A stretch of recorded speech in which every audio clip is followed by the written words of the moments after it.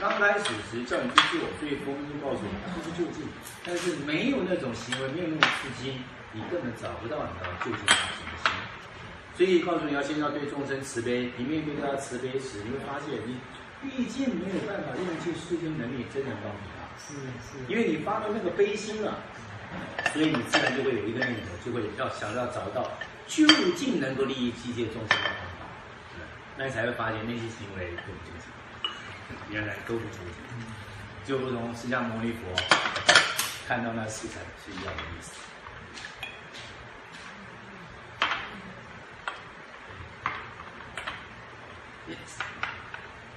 这一生中啊，千万不要觉得说讲到这个很遥远、很玄。你肯于相信、懂得这些道理时，你肯于在每一个念头当下，已经开始为将来的智慧、为将来的苍生，因为你的苍生都已经知道在六根六尘里面，已经愿意为他负责，你看顾自己的所有一切现在六根六尘变化。光你发的那一念心，就是经文中讲的，一日一夜修犯恨，一念中修犯恨，那个功德都比你做多少善行大。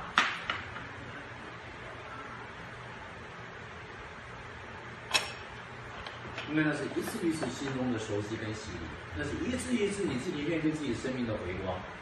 只要有一个人愿意真正为自己的生命，在这个根本道理上面，肯真正施一分力量，表示这个法界就有正法而存在。不但是这个法界有正法存在，也表示你将来生生世世，你的生命中就有这个声音存在，对你是有帮助。所以要赶快下去。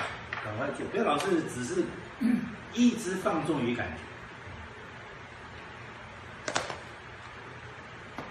那现在有，现在要是懂得道理，就明白什么叫放纵感觉。以前我们也说。知道，我不能放纵感觉。那你就怎么叫怎么样不能放纵感觉？《楞严经》有读过吗？《楞严经》大概听过。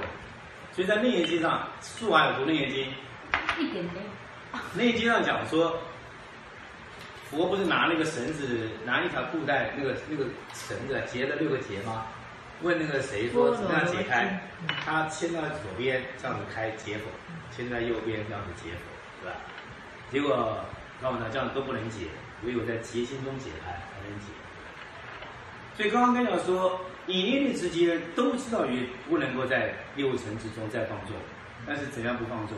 是这样，把这个六层拿到这边吗？拿到那边吗？都不是嘛。那在哪边？就是你在每个念头上面，你自然就会发现，你只是念头就是放纵。你肯于在念头上面提起一个声音，知道觉得是谁吗？就叫姐姐，就不是这边牵一牵，那边牵一牵，以为是在解。你只要愿意这样子做一次，下面就熟一次；你愿意做两次，下面熟两次。总有一天你会熟到每个动作之中，你都有个念头告诉你要回光。那个虽然还不叫大彻大悟，但你已经可以叫做最初行者。因为你有那种心啊，跟我们随时打散在感受上就完全不一样。所以南传也要教你，叫触觉，碰一下要知道觉得什么，清清楚楚知道。其实清楚知道觉得是什么，你们将来会慢慢发现，你是会住在觉心中、明觉中看见，会回来的。但是南传的这他是回来，他就是在觉心的毕竟道理说的。但是在这个上面能回来时，已经是什么？返尘入根来，在站在根中看尘，那不一样了。所以当下用根，他已经照见根了嘛，对？觉得感觉它是在能知的心知道所知，只是用灯了。那这都是可以这样念回来的，因为你本来都在。因为我刚刚不讲嘛，没有觉那种感觉，你本来天天在用，你就不认，你就不认。就不认的话，就有一种可怜相，就是感觉将来就要坏。坏的时候，你在找不到那种感觉的时候，我们心就有一个心，一直还在抓，还在捕捉。当这个感觉、习惯的感觉没有的时候，后面那个心一直在捕捉时，就是可怕。那就是地狱。道场有多重要？所以现在有人说不需要道场，怎么可能嘛？因为人性都知道，你需要一个环境培养。你想要读书，你真的想要读书的时候，你一定会想要找到什么？找到一个大家共同学习的系统，找到一个你随时都可以跟别人在互相研究的地方，找到一个你随时都有一个老师能够不断的在你解解你的迷惑的一个一个场所，学校就出现，是吧？哎，表示这个世界还有学法，他自然而然心里面就会好要，就会成就这样的环境嘛。今天我是个想学习的人，你是个想学习的人，我们就互相喜欢，在一起讨论嘛。然后大家就聚在一起，互相的，这不就是道场了吗？所以有道场表示就有学习的人，说不需要道场就是断灭法的人，断法，因为这是法，这是心性，心性就是法。所以有很多的环境是因为心性存在故环境生焉。所以有人说不用道场就不用这样，那这个就是魔王来坏，那一定是道场，对吧？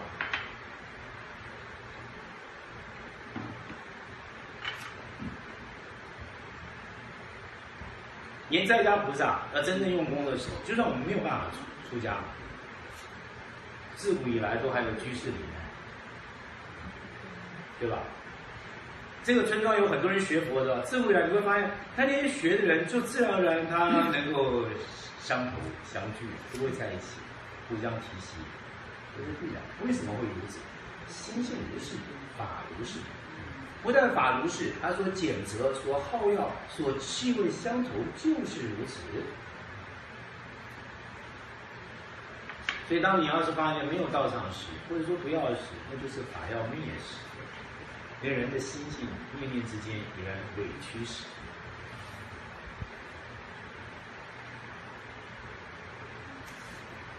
你讲这个多重要，所以你们要在这个地方。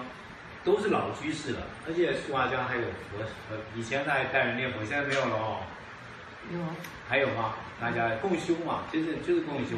没啥了。就算没有办法现出家人，但发愿要做邻里善执事，对吧？大家要平常没事聚在一起，经常就是发愿，写上来此就莫道什么样的世间事，然后来研究佛法。刚开始会觉得我们不知道谈什么。但是每个人在研究时，将来只要慢慢气氛带起来，你总会找到你相同的缘。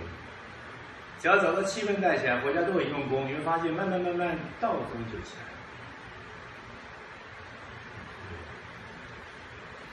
那这个要有愿力，你不要说不要说一般在家人，你像我们出家人想想要办学院干什么？我也是这样子不断的去逼人去干什么，可来的就是跟我没办法心头一合，你也没有办法办道场，这叫模式。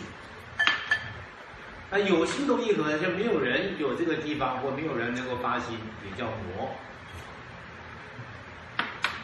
那他们这边有了，他们以前来你看，树华这边多半都是学佛。没有，就是他们两个夫妻。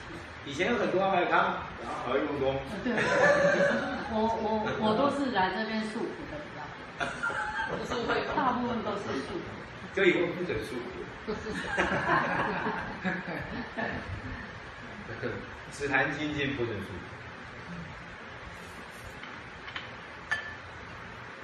不然的话这一生啊，真的说实在都是要互相提携。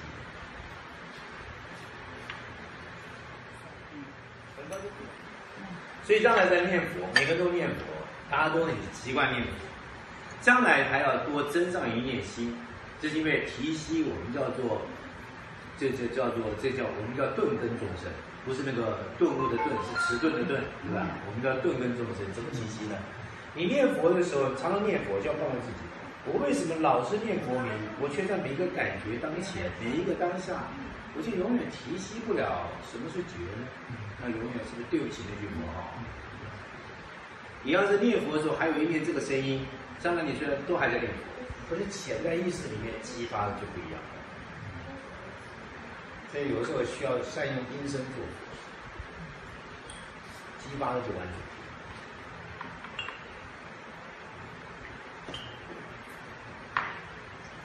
它不但能够让你知道 甚至于用到每一个感觉之中，你愿意重新为自己审视，重新为自己整理，知道决心当然是谁，而且当下你也知道，光因为明白这念决心，才对得起那句无量寿无量光。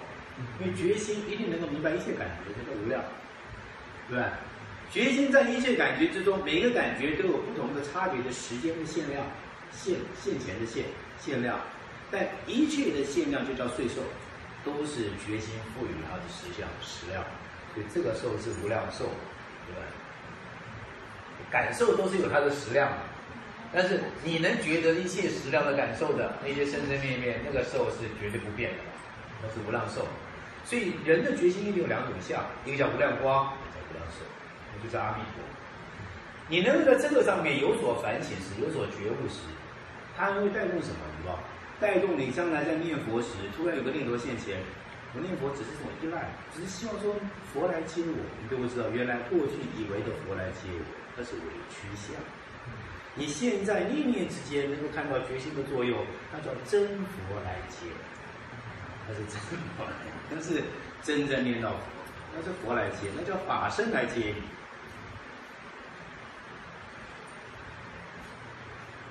进入法门常讲的一个 现象叫接引法，所以接引法门也绝对不会是一般我们世界人认为的，就是我念佛时哪个大力的神明，他将来就能够赞助我，能够接引我，这种接引绝对不是嘛。因为讲到决心，要从从决心上解释一切名相实时，它应该都要符合决心的性格，对不对？他绝对不会说，我现在讲的是决心，可突然念到佛时，我居然是用到凡夫那种委屈的解释来解释这件事，绝对不会吧？对。那既然如此，接引是什么？接引就应该是，你真正发念决心时，就类似我讲的，你念到大山，大山就应该接引你啊。接引就是决心，你决应决。你看到大水，大水应该会接引你啊，那是决心灵，你，以决应决。所以将来你会发现，你在任何环境里面，你读到任何一个圣人的名字，你心性中是不是有如法长养？假如没有如法长养，就告诉自己，不是这种心性之中真正如实真谛的长养，任何接引弟子都不接受，就是唯有这种接引叫做决心接引。你会发现这个接引就是什么？就是本来决心的作用，因为决心之中若是没有接引，什么叫决呢？就是是心做佛，是心是佛。对，因为就算我们堕在恶业中，对，坐在世间的这些恶业，你看到一个坏孩子，马上有人就受他染着了。虽然那个不能叫接引，那个叫传染，传染就有接引，咱们决心不就是会这样子吗？那用到接引这种正面来说，那应该用到什么？就是以决引决。你念到佛处，怎么没有那个接引作用？所以那个接引再也就不是那种委屈等待一个大手来接你的小手这种接引吧。那种像你把这个都解释对了，将来你念佛，你就会看到你决心里面，你自然的觉照之中就会念念跟这句佛话相应。你是真正不辜负接引法门的人，你真正这一生之中能够提起一点自信之中的接引的智慧。将来就算没到西方，你再回到人间，你人间都是你的道场。就是我讲的，你看到大山，大山利益接引你啊；你看到大水，大水的利益接引你啊。不但是大山大水的利益你，你的气氛，别人看到你，还有被你感受，被你所影响，你也在接引人。因为为什么能够成就无是彼此接引？因为全性人是故，本来就如此，所以那才是真正接引法。那这都不是讲虚讲学，讲虚讲学就不是佛法。所以有的人念佛念到最后自己都怀疑，基督耶稣其实就是阿弥陀佛。这为什么？他老是就是那个委屈的接引中想，最后发现反正都是这样接引啊，都是要一个大力神明来接他。他妈也是阿弥陀佛，就表示他念错佛了，一辈子没好好念佛，心中不觉 念错佛。他这些体悟，它的传递在心中产生一种共鸣，就是声音。当当一个人心里面潜在意识共鸣不同时，你会发现他的思维行为就开始转。